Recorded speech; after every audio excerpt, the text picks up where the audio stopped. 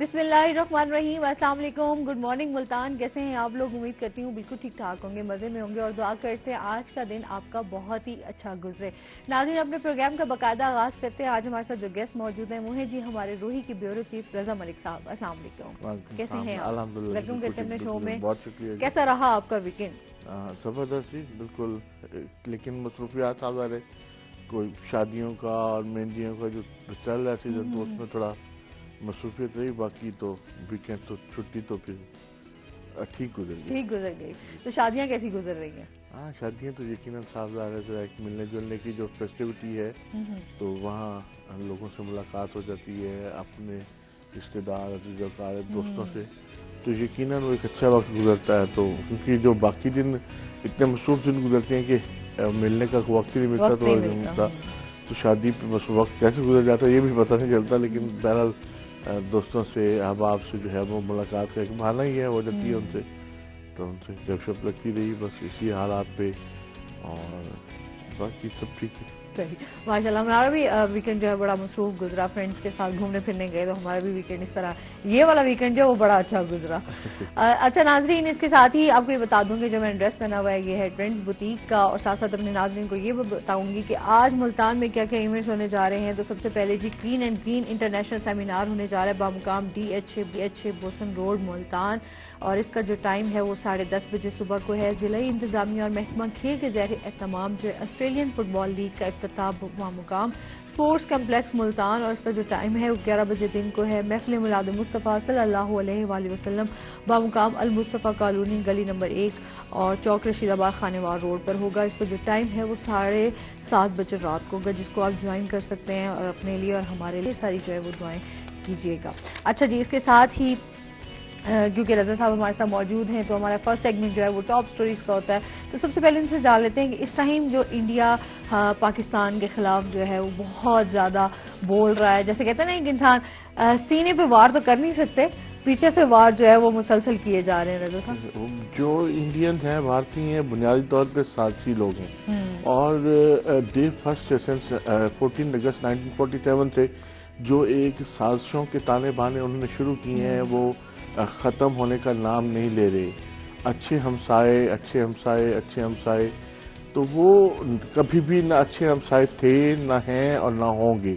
کیونکہ وہ بنیادی طور پہ سالسی لوگ ہیں اور ان کی جو گھٹی میں ہے یہ کہ پاکستان ایک ایسی ریاست ہے ایسے لوگ ہیں پاکستان کے غیور سمجھدار جو ان کو پہلے دن سے ہی وہ ہضم نہیں ہو رہی حالانکہ کتنی کتنی قربانیاں دیں کتنے لوگ جو ہے وہ مائگریشن کے بعد پہنچے اور ہمارا جو ملک ہے وہ یقیناً ایک ایک ایک جو اس ایک ہمارے لیے تو ہماری ماں کے برابر ہے ہماری ماں جیسا ہے ہماری ماں ہے تو اب اب اب ظاہر ہے کہ جو بھی واقعہ ہوا ہر دفعہ کوئی نہ کوئی وہ بہانہ بنا کے تو جو اس کے الزامات ہیں وہ پاکستان پہ بغیر کسی تحقیقات کے وہ دھرنا شروع کر دیتے ہیں۔ اور ابھی تو ہر سطح پہ ہر سطح پہ ان کو اب منہ کی کھانی پڑی ہے اب تک تو انڈیا کو۔ ہر جس سطح پہ بھی انہوں نے بات کی کہ انہوں نے یہ جو الزامات لگائے پاکستان پر یہ غلط اور بے بنیاد الزامات ہیں بالخصوص میں سمجھتا ہوں کہ اب جو اب حالات تھوڑے سے اس کے اندر سنگین ہے کہ پاکستان نے ترقی کی جانب جو سفر شروع کیا ہے اپنا گزشتہ دو تین سالوں میں اور اب جو صورتحال بالکل ہی تیز رفتاری سے آگے کی طرف بڑھ رہی ہے اور یہ لگ رہا ہے کہ پاکستان اس خطے میں جو ہے ایک بڑی معاشی طاقت جو ہے وہ بن کے ابھرے گا اور جس طرح کے اقدامات ہماری جس سمت میں جا رہے ہیں تو یقیناً وہ یہی لگ رہا ہے کہ دو چار سالوں میں ہم اس اس پورے خطے میں ایک انتہائی اہم ترین رول اہم ترین کردار جو ہے وہ نبھا رہے ہوں گے۔ تو یہ چیزیں وہ میرا خیال ہے ان سے جو ہمارے ہمسائے ہیں ان سے برداشت نہیں ہو رہی۔ بالخصوص انڈیا کو تو بہانا چاہیے۔ اور یہ دیکھیں کہ کتنی میں سمجھتا ہوں کہ کمیونگی ہے فطرت کی۔ کہ وہ اس الیکشن کے موقع پر انہوں نے اپنے لوگوں کو ہی اپنے لوگوں کو ہی اب دیکھیں وہ سکھ تھے اس بس میں جس بس میں وہ دھماکہ ہوا کوئی پوچھے تو ان سے کہ آپ نے اتنے سارے سکھ ایک بس میں کیسے چلا دیے؟ آپ یہ تو بتائیں کہ ان کو پتا تھا نا کیونکہ ہم نے کرتارپور کھولا۔ بالکل۔ ہم نے ہم نے اپنے سکھ بھائیوں کے لیے کرتارپور کھولا۔ آپ یہ دیکھیں کہ کتنی بڑی سازش ہے۔ کہ وہ اگر بھروائے بھی تو وہ سکھ انہوں نے بالکل ایسی وہ اب وہ ان کے پاس ایسے کوئی جواب نہیں ہے۔ لوجیکلی وہ بتا نہیں سکتے۔ کہ بھائی کہ اس طرح سے۔ لیکن الزامات میں وہ سب سے آگے ہیں کہ بلا ایک اچھا ان کی طرف کوئی بھی اس طرح کا کوئی حملہ ہو جائے یا کچھ بھی ہو جائے تو سب سے پہلے ان کا وار ہی پاکستان پہ ہوتا ہے۔ کہ جی پاکستان نے ایسا کر دیا پاکستان نے یوں وہ کر دیا اپنا گربان پاک- نہیں جھانکتے ہاں، اپنا گربان اپنا نہیں جھانکتے بالکل ہے۔ بھی نہیں جھانکتے اور ان کے بعد اس کے بعد جو ان کی انتہا پسندی عروج پہ ہوتی ہے اگر کوئی ہندوستانی یہاں پر آ جائے یا ان کے کوئی سٹارز میں سے یہاں پر کوئی آ جائے تو پاکستان ان کے اکٹھا ان کا شروع ہو جاتا ہے انتہا جو ان کا گروپ بنا ہوا ہے میں کہتا ہوں دیکھیں جی ہمارے دیکھیں ہمارے ہمارے لوگ اتنے ٹیلنٹڈ ہیں اتنے ہیں کہ ہمارا تو جو بھی وہاں گیا ہے اپنی محنت اور اپنے نام بنایا۔ نام بنا لیا۔ نام ہے۔ بنا کر آیا۔ ٹھیک ہے آپ اس کو آپ کہتے ہیں کہ جی جو جو آپ کا کلچر ہے وہ مطلب بیانڈ دا باؤنڈریز ہے۔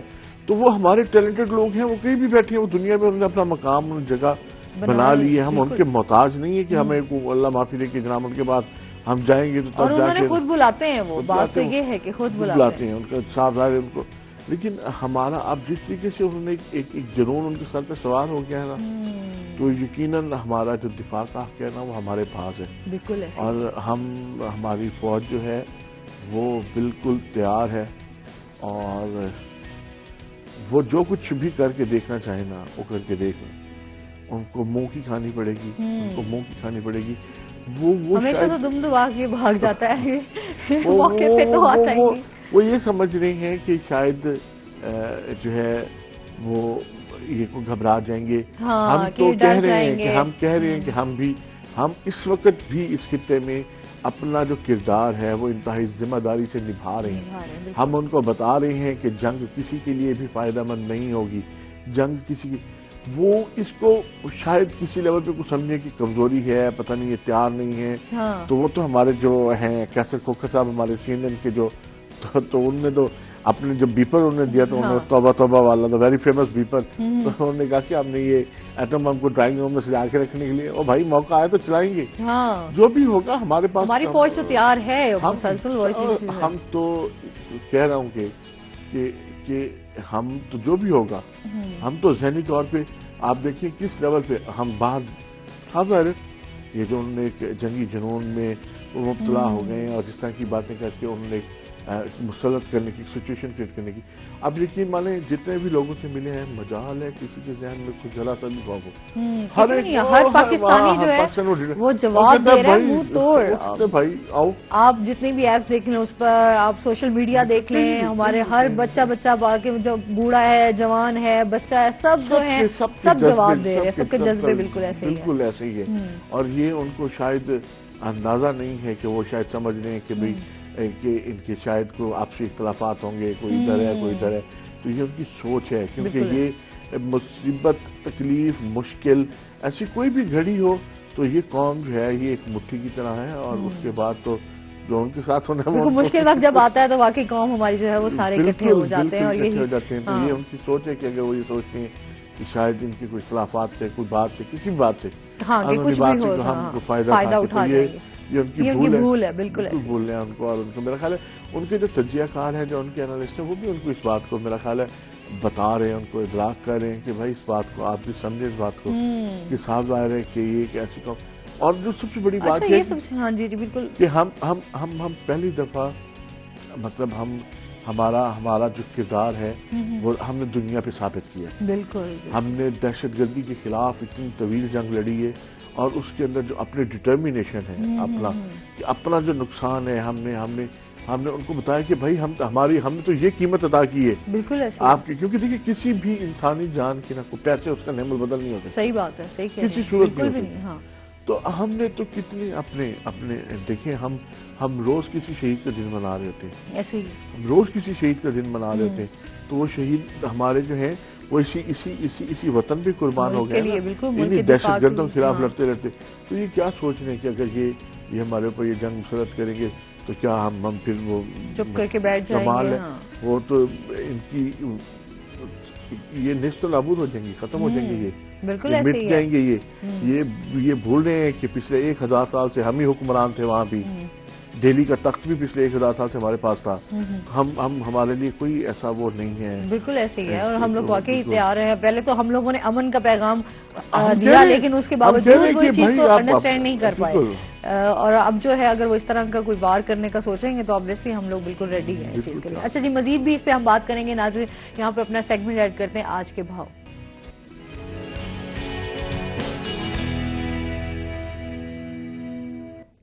جی اقبال ہمیں بتائیے کہ آج ملتان میں سبزیوں پھلوں کے کیا ریٹس ہیں؟ جی بالکل، ملتان کا علاقہ کنٹ صدر بازار ہے، جہاں پر اس وقت ہم موجود ہیں۔ سرکاری ریٹ لسٹ کے حساب سے سبزیوں اور پھلوں کی قیمتیں کیا ہیں، وہ ہم آپ کو بتاتے ہیں۔ جو آلو ہے، چھلکے والا، وہ اپنی بارہ روپے کلو کے حساب سے اپنی قیمت پر برقرار ہے۔ کافی عرصہ سے اسی قیمت پر برقرار ہو، جو پیاز ہے، سندھ سے آنے والا یہ بائیس روپے کلو کے حساب سے فروخت ہو رہا ہے۔ اور جو سندھ سے آنے والا ٹماٹر ہے، وہ اپنی سینچری مکمل کرنے صرف صرف دو ڈیجٹ پیچھے ہے۔ یعنی کہ اٹھانوے روپے کلو اس کی جو قیمت ہے، وہ کلو ہو چکی ہے۔ اور سو روپے پر یہ اپنی جو سینچری ہے، وہ مکمل کر لے گا، ممکن ہے کل تک یہ سو روپے تک پہنچ جائے۔ کیونکہ ہر چڑھتے سورج کے ساتھ یہ دو تین روپے، دو تین روپے ٹماٹر جو ہے وہ مہنگا ہوتا جا رہا ہے۔ اس کے بعد اگر چائنا سے آنے والی لیمو کی بات کی جائے تو وہ چھیاسٹھ روپے کلو کے حساب سے فروخت ہو رہا ہے۔ یہ بھی کافی عرصہ سے اپنی اسی قیمت پر برقرار ہے۔ اس کے بعد اگر شملہ مرچ کی بات کی جائے جو سب سے بہترین مرچ ہے، جس کو اول مرچ کہا جاتا ہے، اس کی جو اس وقت قیمت ہے ایک سو بتیس روپے کلو ہے سرکاری ریٹ لسٹ میں۔ اس کے بعد اگر مٹر کی بات کی جو تینتیس روپے کلو کے حساب سے فروخت ہو رہے ہیں۔ اور اس کے بعد جو لاہور سے آنے والی پالک ہے، وہ بائیس روپے کلو کے حساب سے فروخت ہو رہی ہے۔ جو مونگرے ہیں، وہ پچاس روپے کلو کے حساب سے فروخت ہو رہے ہیں۔ مونگرے بھی اپنی اس اس کی یہ خاص، خاصیت ہے کہ یہ کچھ عرصہ سے اسی قیمت پر ہی برقرار ہے، بلکہ کافی لمبے عرصے سے اپنی یہ اس قیمت پر برقرار ہے، پچاس روپے کلو کے حساب سے مونگرے۔ اس کے بعد اگر لیمو دیسی کی بات کی جائے تو یہ اٹھاسی روپے کلو کے حساب سے فروخت ہو رہے ہیں، کیونکہ ایک چائنا سے آنے والا لیمو اور دوسرا یہ ہے۔ جو سہانجنا ہے، ایک سو بتیس روپے کلو کے حساب سے یہ فروخت ہو رہا ہے۔ کچھ پھلوں کی بات کی جائے تو جو مسمی ہے وہ پچپن روپے اور جو اسٹرابری ہے یہ دو سو دس روپے کلو کے حساب سے فروخت ہو رہی ہے یعنی کہ یہ دس روپے مہنگی ہوگی۔ جب موسم یہ شروع ہوا تھا، تب جو اس کی قیمت تھی وہ دو سو پینتالیس روپے تھی، لیکن یہ پھر سستی ہو گئی تھی، جس کے بعد اس کی جو قیمت تھی وہ دو سو روپے کلو تک ہو گئی تھی، لیکن آج جو اس کی قیمت ہے، اس میں دس روپے اضافہ ہو گیا ہے۔ خربوزے کی بات کی جائے تو یہ چھیاسٹھ روپے کلو کے حساب سے فروخت ہو رہا ہے۔ تو یہ وہ آج کی سرکاری ریٹ لسٹ کے حساب سے سبزیوں اور پھلوں کی قیمتیں تھی جو ہم نے آپ کو بتائی ہیں۔ اور کوئی بھی اگر خریدار، دکاندار یہاں پر آتا ہے تو اس کو اس قیمتوں کے حساب سے پھل اور سبزیاں خریدنی چاہیے، نہ کہ کسی بھی دکاندار کے منہ مانگے داموں کے حساب سے۔ جی۔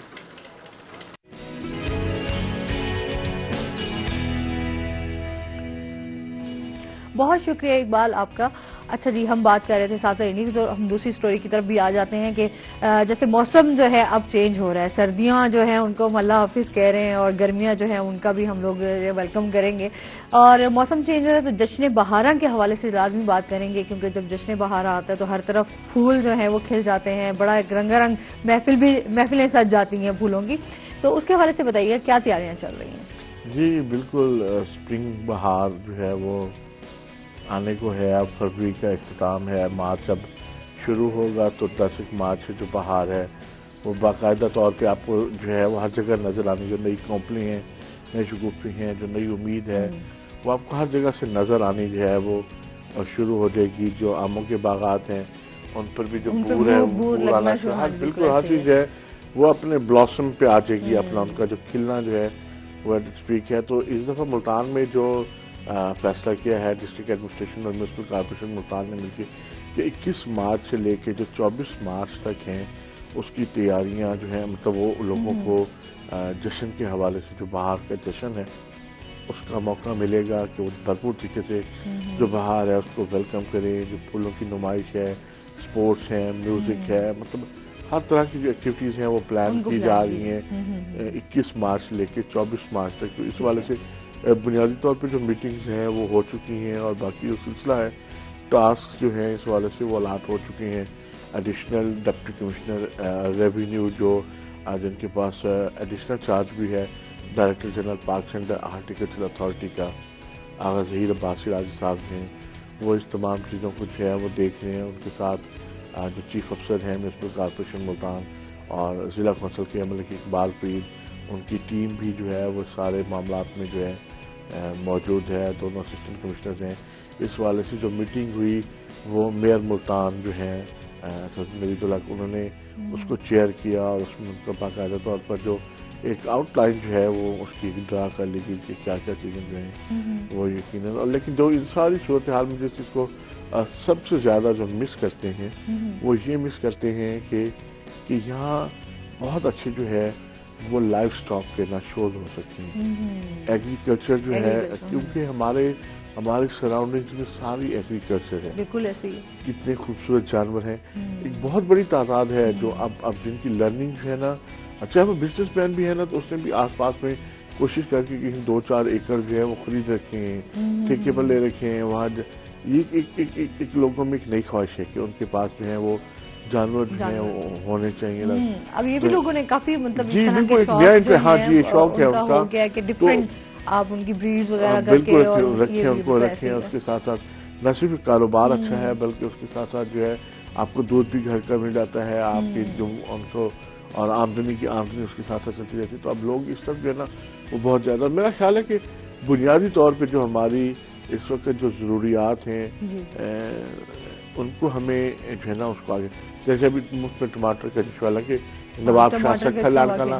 ٹماٹر تیار ہے وہاں سے وہ آ رہا ہے چیزوں کو مینج کرنے کی بات ہے۔ تو وہ ہمارے پاس ہر چیز جو ہے نا سال کے بارہ مہینے ہمارے پاس جو چیزیں ہیں وہ دستیاب ہوتی ہیں۔ اس میں بس یہی ہوتا ہے کہ ان کی بلین تو میرا خیال ہے کہ جو اچھے گروورز ہیں جو ویجیٹیبل کے جو جو- لوگ اچھے اگاتی ہیں سبزیاں۔ کیونکہ سبزیوں کے حوالے سے خاص بات ہوتی ہے کہ وہ نا شہری آبادی کے جو آس پاس جو اراؤنڈ علاقے ہیں وہاں سبزیاں اگائی جاتی ہیں تاکہ جو ان کی ٹرانسپورٹیشن چارجز ہیں وہ منیمم منیمم ہو کم سے کم ہو تاکہ جو منڈی میں ان کی۔ قیمت ہے اس کو کچھ فارمر کو بھی مل سکے اور جو آگے اینڈ یوزر ہیں جیسے آپ میں ہیں تو ہمیں بھی وہ چیز جو ہے وہ سستے داموں جو ہے۔ دستیاب۔ تو میرا خیال ہے کہ اس کے اوپر جو ہے نا ہمیں جیسے باہر میں ہم اوور ایک بات کرتے ہیں تو ہمیں اس چیز کے اوپر بھی جو ہے وہ فوکس کرنا ہوگا کہ ہمیں ان تمام ان لوگوں کے لیے بھی کوئی ایسی فیسٹیوٹی کریٹ کرنی ہوگی اہ، گائے بگائے ایک اچھے لیول پہ جس میں آپ کو اور میرا انٹرسٹ ایک عام بننے کا بھی جو انٹرسٹ لیول ہے اس میں ڈیولپ کیا جا سکے اور میرا۔ خیال ہے جو باہر کے میلے ہیں تو دیکھیں نا تحصیل شجہ آباد بھی ہے تحصیل جلال پتری والا بھی ہے تو ایسی چیزیں جو ہے نا وہ ہم کر سکتے ہیں۔ صحیح۔ اچھا جی، سر بہت شکریہ آپ کا کہ آپ ہمارے شو میں اس کے ساتھ ہی ناظرین ہمیں یہاں پہ لینی ہے بریک ہمارے ساتھ رہیے گا۔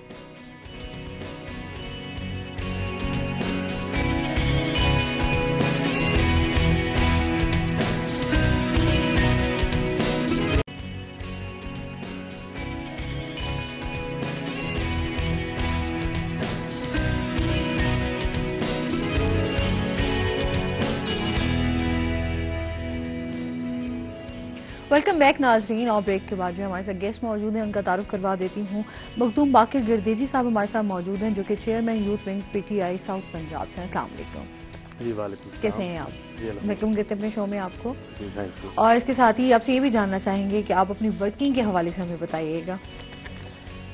جی دیکھیں I started my role in to politics started in two and twelve my father was very much interested in politics. Mm -hmm. I belong from Sayyid Gaddezi family of Multan. Mm -hmm. Our history is 985 years back. Our ancestor came back, uh, came in here from uh, from Afghanistan. Shah Yusuf Gurdez came in here in Multan 1985 years back.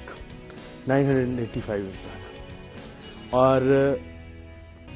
ہمارا Sufism سے اور ہمارا علم سے ہماری family کا تعلق ہے۔ کمنگ فارورڈ ہمیں اس وقت کے حکمران رولر آف دا ایریا نے رضی سلطانہ نے میری فیملی کو لینڈس دی۔ تو ہمارا پھر ذمہ دارہ اور صوفیزم سے تعلق رہا ہے۔ صحیح۔ In like sixties 60, 65, my father got interested in politics. Okay. And from then, he started his journey from the day uh, Medical College was being inaugurated mm -hmm. at uh, by Abdul Sattar, uh, no, by uh, Abdul Rab Nishtar, mm -hmm. Uh, Nawab Abdul Rab Nishtar. Mm -hmm. تو he kept on going he was very patriot at that time جیسے آج کل swing ہے عمران خان کا ایک flu ہے ساری use connect کرتی ہے عمران خان سے۔ اس وقت ایک زلفکار علی بھٹو کا بہت ایک فلو تھا۔ بالکل ایسے ہی ہے۔ لوگ بہت زیادہ ان کو فالو کرتے تھے ان بہت ان کا ایک چام ویژن ان کا یوتھ ہاں۔ میں ایک چام تھا۔ جیسے آج الحمدللہ عمران خان صاحب کا ہے۔ بالکل ایسے ہی تو ان سے کنیکٹ کیا. My father continued as People's Party worker my father always told me beta you need to start from the bottom then only you can learn and experience the versatilities of life otherwise you might become something but you won't be having any knowledge and that is of no would you say that is not a good thing اچھا اب یہ تو چیزیں آپ کو ظاہر بات ہے فادر کی طرف سے بھی آپ کو ملی آپ کی فیملی کا بیک گراؤنڈ ایسا ہے آپ یوتھ کے لیے آپ کیا جذبہ لے کر آئے ہیں جی دیکھیں I was in my olives when my father died in 2010 that was a very unfortunate event I was sixteen by that time I realized the problems faced by the youth are quite more difficult we are hundred million people of Pakistan we have the strength to change this dynamics of our region but unfortunately we are not been given a chance ہمارے لا میں بھی hmm. ہمارے لیے اتنی بات نہیں کی جاتی. Under twenty five why am I not elected so far because I am under twenty five that is the basic drawback دیکھیں ہم کمپنیز میں کام کر سکتے ہیں۔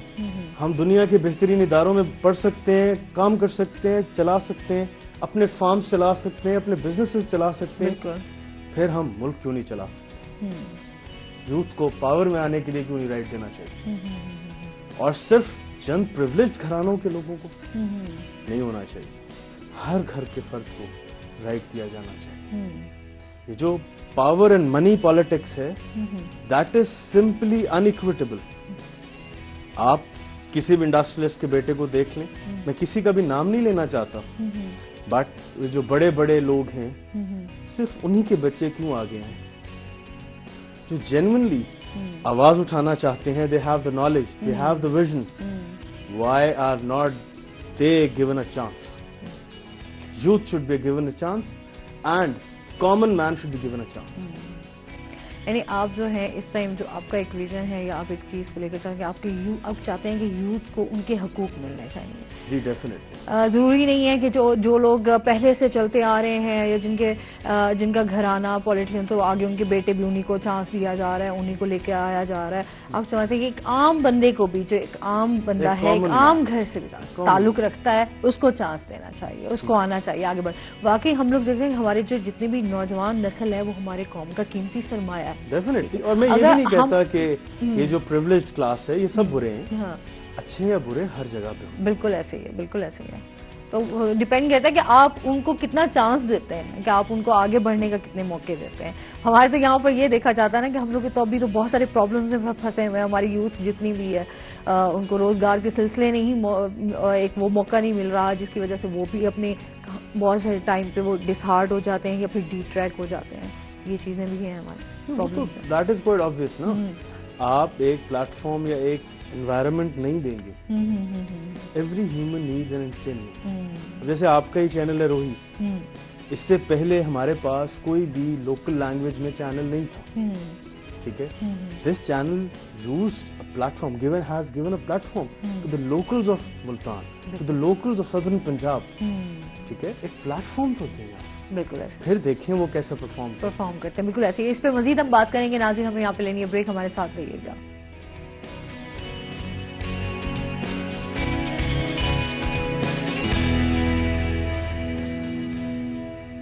ویلکم بیک ناظرین۔ اچھا پروجیکٹس کے حوالے سے بھی آپ سے جاننا چاہیں گے کہ آپ کی اس ٹائم جو ہے کتنے پروجیکٹس پہ آپ کام کر رہے ہیں اور نیکسٹ فردر کیا دیکھیں اس کے لیے تھوڑا سا میں آپ کو کنیکٹ کرنا چاہوں گا۔ میرے والد نے چار سکولز بنائے چار سے پانچ سکولز بنائے۔ ٹھیک ہے۔ میرا بیسک انسینٹیو جو ہے وہ گورنمنٹ کے اسٹرکچر پہ ہے مینجمنٹ پہ ہے۔ اچھا ٹھیک ہے۔ گورنمنٹ کا جو بیسک رسپانسبلٹی ہوتی ہے وہ تین چیزیں ہوتی ہیں۔ ٹھیک ہے۔ ہیلتھ ایجوکیشن اینڈ سیکیورٹی ہمیں ہیلتھ میں ابھی لائف لارجر پراسپیکٹ تو ہمارے پاس چیزیں نہیں ہیں کہ ہم ریسرچ انسٹیٹیوٹس یا اس طرح کی کوئی چیزیں بنائیں. At smaller level smaller scale اس کا یہی ہے کہ ہم بیسک ڈسپینسریز یا ہاسپٹلس کچھ نہ کچھ ہو۔ اور پھر ہیلتھ سیکٹر میں بھی دو سیکٹر ہیں human health and animal health because animal are part of our society they are very important part of our society بالکل بالکل۔ اور کمنگ فارورڈ پھر ایجوکیشن ہے۔ ایجوکیشن میں میرے والد نے چار سے پانچ اسکولس بنوائے۔ ٹھیک ہے۔ پھر سیکیورٹی ہے۔ میرے والد نے ہی وہاں پر حکام بالا سے بات کر کے اس وقت وزیر اعظم پاکستان اور اسپیکر قومی اسمبلی سید فخر امام۔ ان کی کاوشوں سے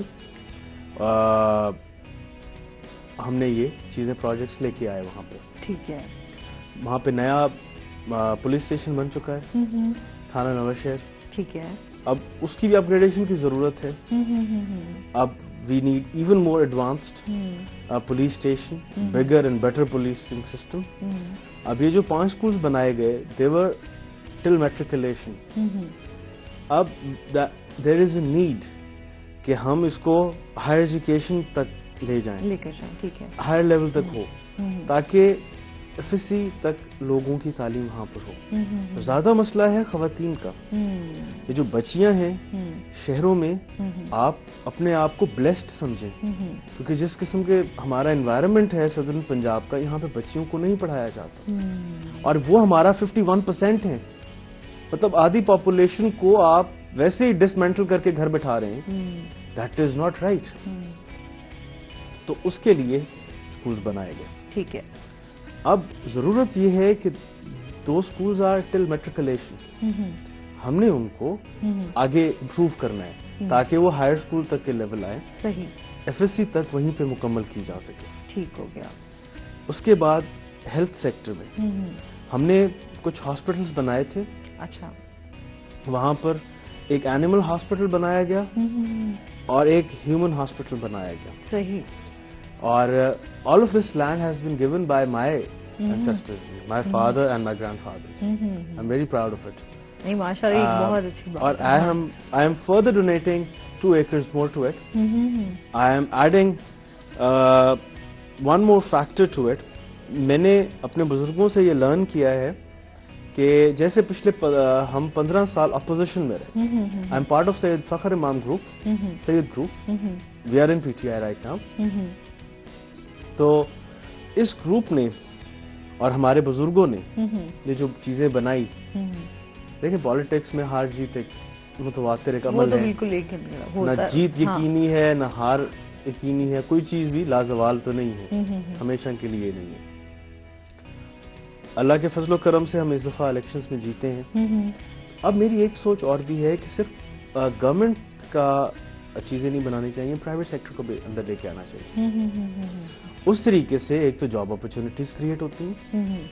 ہم وہاں کے لوگوں کے لیے اسپیشلی یوتھ کے لیے ہم جابز کریٹ کر سکتے ہیں۔ وہ جو جاب لیس یوتھ ہے جو کہ واقعی جس کے پاس پوٹینشیل ہے کچھ کر کے دکھانے کی اچھا یہ بھی۔ کہتے ہیں۔ بہت سارا ٹیلنٹ ہمارا اسی طرح ضائع ہو جاتا ہے جب ان کو موقع نہیں دی جاتے ان کو چانس نہیں ہے ان کے پاس دیکھیں جی گمراہ کر دیا جاتا ہے نا۔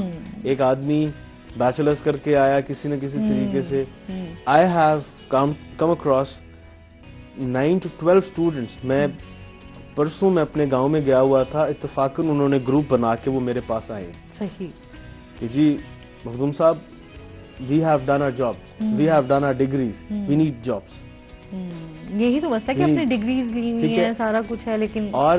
جو شکر ہے اب کچھ ہمارے پنجاب میں تو الحمدللہ یہ چیز بہت بہتر ہے۔ وہ ایک میرٹوکریسی کریٹ ہو گئی ہے۔ اس کی وجہ سے جنون آدمی اپنی مقام پر پہنچ سکتا ہے۔ گزشتہ ادوار میں بھی دو نمبریاں ہوتی رہی ہیں۔ غلط کام ہوتے رہے ہیں۔ اور میں امید کرتا ہوں جس طرح عمران خان کا ویژن ہے اور وہ۔ پازیٹیوٹی کی طرف جا رہی ہیں۔